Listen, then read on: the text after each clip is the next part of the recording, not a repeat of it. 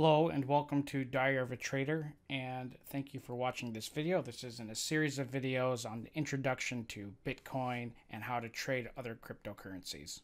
And in this video, we're going to go over uh, how to use and buy and trade altcoins in, in a market.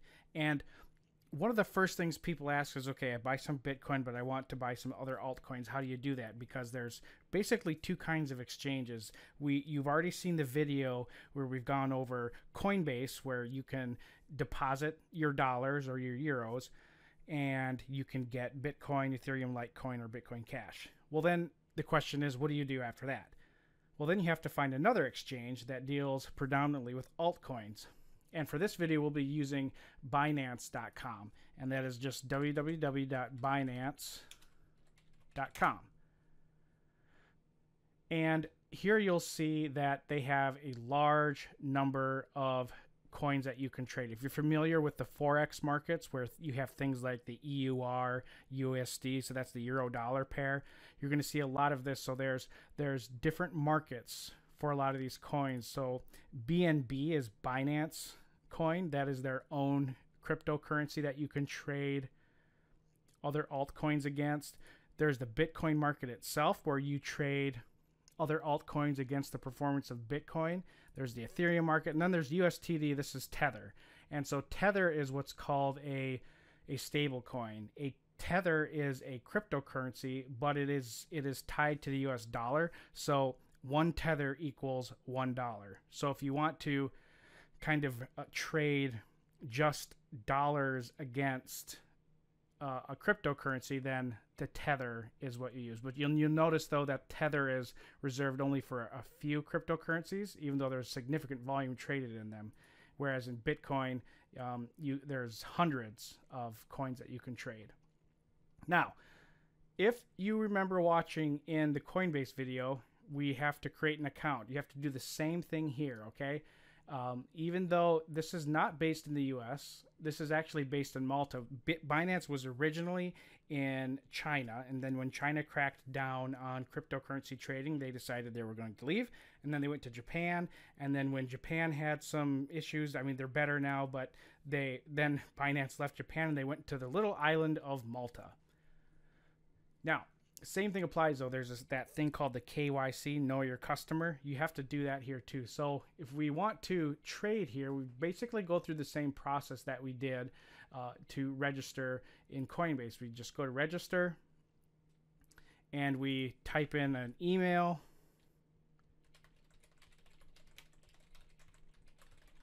Password. And if somebody referred you, you can do that and then you just click I agree and then you register. Oh, make sure that this is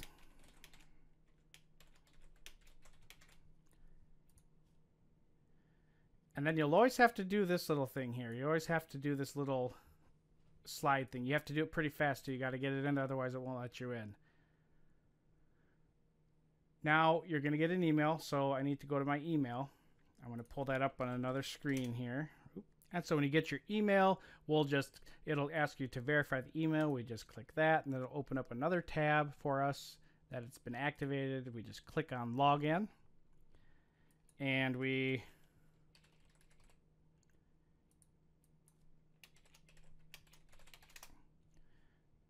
do this stuff again. All right, there we go. And then we'll be able to get into our our uh, account. Now, one of the things you'll notice is that that we will get to, uh, uh, you know, telling us that we have a lot of things we need to be aware of. So don't send funds to anybody you don't know.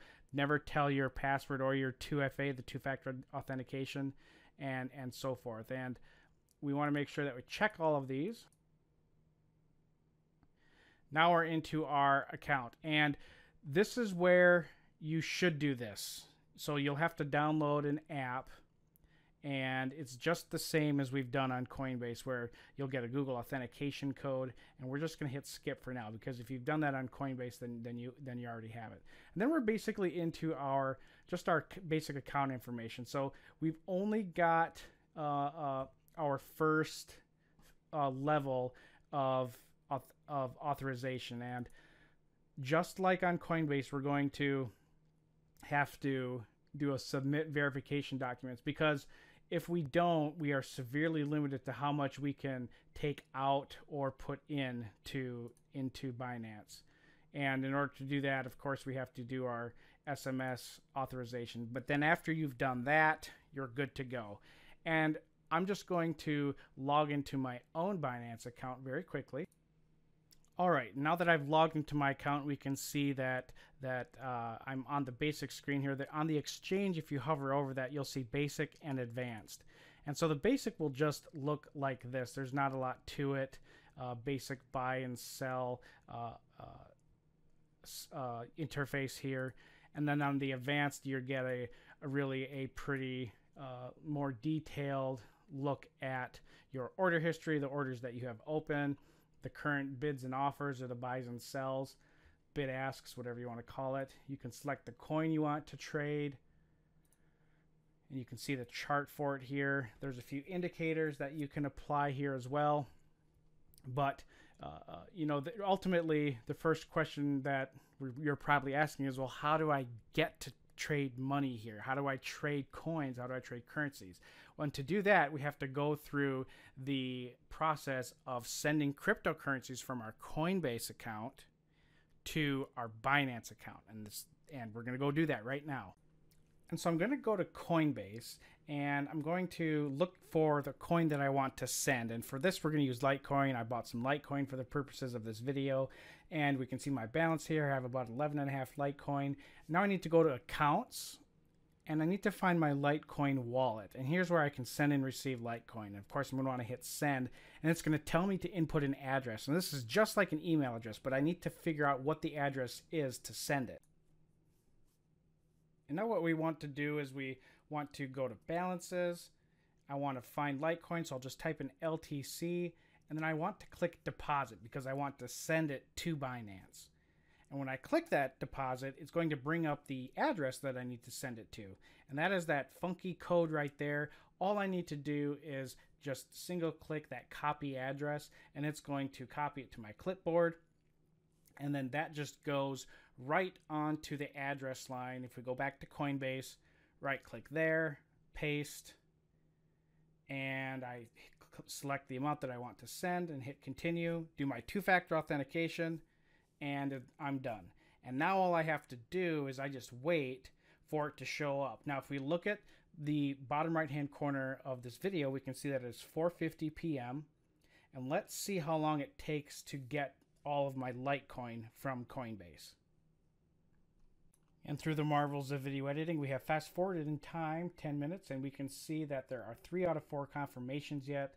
We are looking at where this could be at. Also we can we can look at the blockchain transactions as well and see what transactions are happening how much how many other uh, litecoin transactions have been happening. We can see mine below there at the 11.43 and what i can also do is i can also go over to coinbase and coinbase will also notify me how many uh, uh, uh confirmations have been completed and I have to refresh that there and now it says I have four. So that means that I actually have the cryptocurrency of Litecoin in my wallet on Binance. And we can also see the other balances that I have. But now we need to get into well, how do you trade this? How can I sell my Litecoin and trade it to buy something else? And to do that, we're going to go over to the exchange part here. And so if you remember where to go on the exchange, we're going to find the Litecoin tether pair and I want to sell some of it. So I have 11.43 and let's say I want to sell half and I want to sell it right away. So I'm going to sell it at the market. And the market means that the the, the transaction is going to happen immediately when you hit sell. If something's a limit, that means you, you're going to wait for it to be at a certain price. But market means you're just going to take the order at whatever the price is currently trading. And there's my tells me that I have sold it for that much and I have that much tether. Now I want to take the tether I have and I want to buy some ADA or Cardano and I just put in how much I want and hit the buy button. Not too fast, otherwise it doesn't update that fast. But now I now instead I've sold my Litecoin, I've turned it into Tether, and I've taken my Tether now and I've bought Cardano. So this concludes our video over Binance and how to send uh, cryptocurrencies from one account to the other. I hope you found this video helpful and that it is a benefit to you. And I look forward to talking with you in our future videos. Have a great day.